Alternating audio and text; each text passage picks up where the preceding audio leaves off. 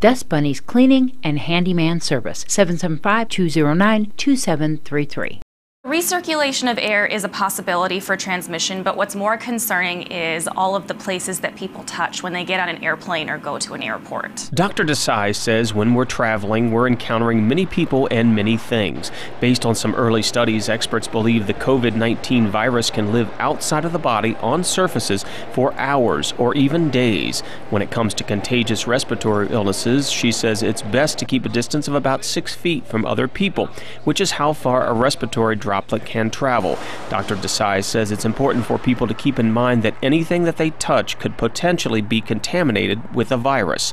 And once you touch it, you can transmit the virus to anyone you come in contact with. She says limiting or canceling travel is one of the ways we can help stop the spread of COVID 19 in the community. It's really important for people to keep in mind that traveling and exposing yourself to these infections is not just about your health, but the health of the, everyone that you're exposed to. The CDC has dedicated a section on their website to inform travelers about advice and travel restrictions. It is recommended that anyone traveling within or outside of the country to check the latest CDC guidelines first.